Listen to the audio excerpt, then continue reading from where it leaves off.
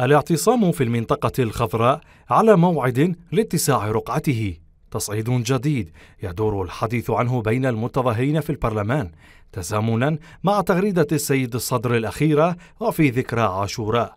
حشود من المتظاهرين بالمحافظات تلتحق بالمعتصمين في بغداد استعدادا للتصعيد المرتقب أكيد التغريدة التي آه، خرجت من أنامل الشريفة لسماحة السيد القائد مقتدى الصدر هي حشدت الشباب وكما ترى أنت الآن الحشود الآلاف المؤلفة التي متواجدة وماسكة الأرض في الخضراء منذ ما يقارب ال 15 يوم إلى حد الآن. الحمد لله وشكر أعداد مليونية وتوافد وحتى قاعد نلاحظ آه، يعني مو بس الجمهور التيار الصدري للأمانة يعني يعني هواي ناس قاعد يعني توافدها المقر البرلمان. ليس من التيار. أنا مواطن عادي. بس أساهم التيار وأساهم غير التيار. كلها هاي أكثر ترى من التيار. أنا أقول لك يعني للعلم والاطلاع. التصعيد في حدة الاحتجاجات يقول المعتصمون أنه يأتي كورقة ضغط لتحقيق ما يطالب به الصادر لا سيما بتغريدته الأخيرة التي وجهت إلى القضاء.